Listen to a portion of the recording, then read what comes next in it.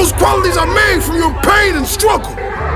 You are given pain because you are strong enough to handle it. You are given this life because you are strong enough to live it. Because you are strong enough to drive through it, to thrive through it, to inspire others through it.